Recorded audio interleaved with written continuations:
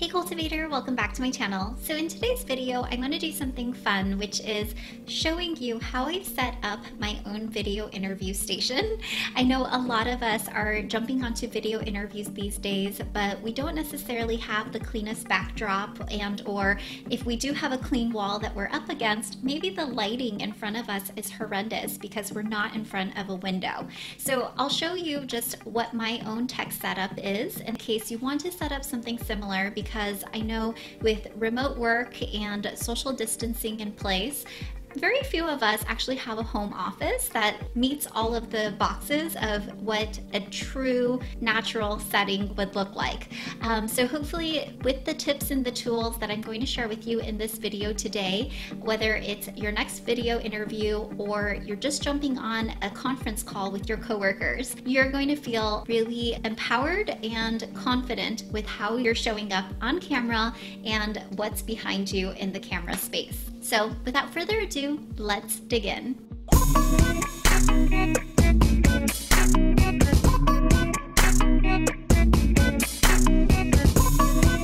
Alright, let me just show you what I'm dealing with in terms of my home office because I live in a one bedroom apartment and there really isn't a dedicated office space. So for me, um, I've set my desk up in this corner, as you can see, and Ideally, my back would actually be facing the other way so that my face could face the big windows and get natural light on it. However, the reason why I've set it up this way is because this is what you see on the other end. It's a lot of clutter. Nobody needs to see a kitchen and a fridge all day, every day. Um, so again, this is really the best remedy for me and making sure that I have a clear backdrop that's non-distracting, non-cluttered, and that is why you always see my window there. All right, so now that you see the, my setup and the fact that my kitchen is actually in front of me, I want to talk about lighting because wherever you're setting up your makeshift office inside of your home, you probably want to have great lighting, especially if you're hopping onto evening calls and or you're um, even on a call during the day. Um, whenever the sun is coming through on the back and you get a ton of backlight, what happens is your face becomes really dark and you can't see your features and you kind of look a little bit creepy on camera. So let me just show you what I mean because I'm going to turn off my ring light. So this is without any lighting, what it would look like on camera um, with the light facing my back. So again, a lot of backlight and not necessarily light in front. So what I'm gonna show you is my ring light because it makes all the world of a difference. All right, so this is my ring light and I just have it clamped onto my um, lamp stand, but you could literally clamp it onto anything. My um, Desk is actually too thick to clamp on because it would go up to like here. Uh, but if you have like a stack of books or you just have a book and put something heavy on it, that would work too um, because it only clamps to like this width. Uh, but yeah, this is what I'm using right now. And as you can see on um, camera as I'm filming it is super bright and there's so many settings here. Like you could change the type of color it is um, you can change the intensity of how bright or how light you want it. So again this is um, this is with the ring light and then when I don't have this turned on turn it off this is the quality and kind of the darkness level that comes up. So it makes a huge difference. And this one that I'm going to link in the description box was only $15 on Amazon, um, which is cool too because they do have this little cell phone clamp you could put your iPhone into. I don't use it um, because I just use everything on my laptop in terms of a webcam. And let's actually talk about this webcam next. In terms of the webcam, I am actually using this 1080p uh, HD Logitech webcam. I think it was less than $100 on Amazon. I'll go ahead and link that down below as well.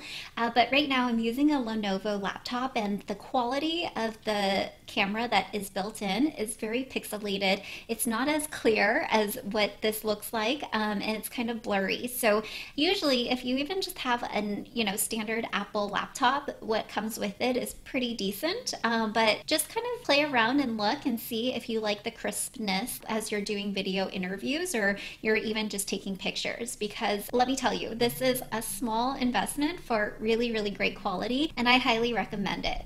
All right, so I have my ring light going. I have my webcam with 1080p. We're all good. Everything's in HD.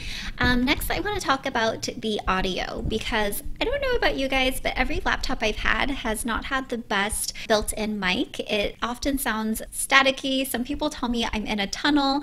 And whenever I'm on a video interview, I don't like to use like the built-in microphone jack with the headphones because then you just see like these white strings, um, which isn't terrible, but I think think that for a small investment, you can definitely just pick up one of these. Um, this is the Audio Technica ATR 2100, and it is an amazing quality for the price. Um, I've had this for over two years, and it just makes everything sound so professional and polished, and the quality is really, really strong. Um, and it also doesn't pick up any of like the background feed and noises and static. You also don't have to worry about like um, with the headphone jacks, you know, as you like move or you gesticulate, maybe like the microphone kind of moves in and out um, because it's kind of hanging by an ear.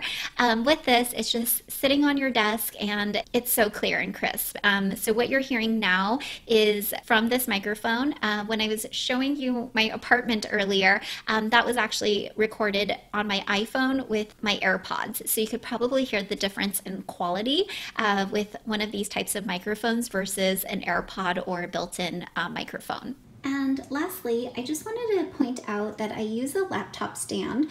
Um, this is actually really great for ergonomics overall. I highly recommend it. But also, as you are interviewing, you just always want to make sure that you are eye level to the camera Sometimes you can get away with stacking a bunch of books, which I do sometimes, uh, but if possible to just invest in one of these laptop stands, I think they make a world of a difference.